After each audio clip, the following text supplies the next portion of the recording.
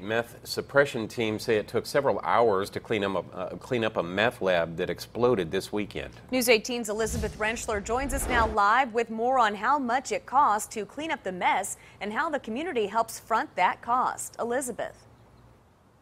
The explosion happened here at this home in the 2400 block of Roosevelt Avenue in Lafayette. I'm going to bring you guys around this way so you can see the damage actually done to this home. You can see there part of that side wall was completely blown off the foundation. Now, it took troopers about five hours to clean up the mess here. They say it's a timely task and it's also a costly one.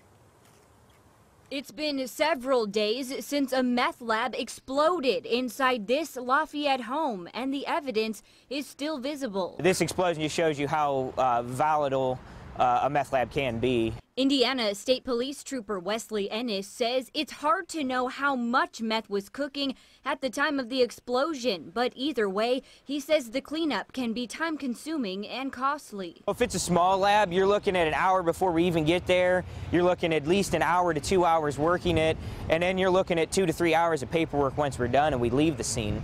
So there's a lot of man, man hours that go into it, a lot of time, a lot of money. First Sergeant Nikki Crawford oversees all meth suppression units here in Indiana. She says on average it costs $2,000 to clean up just one meth lab. She says the cost for the homeowner can sometimes be even more. Their cost can be anywhere from a few hundred dollars to fifteen, twenty thousand dollars depending on how deep the contamination is left in the home. Ennis says they receive federal grants to clean up meth labs, but he says ultimately it's a cost that's fronted by taxpayers. No matter how you are, are going to slice that, uh, DEA is funded by taxpayers, state police funded by taxpayers. So yes, in the long run, it is it is being funded by all of us that pay taxes. According to statistics, 33 meth labs were discovered and cleaned up last year in Tippecanoe County alone, with an average cleanup cost of $2,000. That means about $66,000 was spent cleaning up the mess here locally. Yeah, it, it is costly,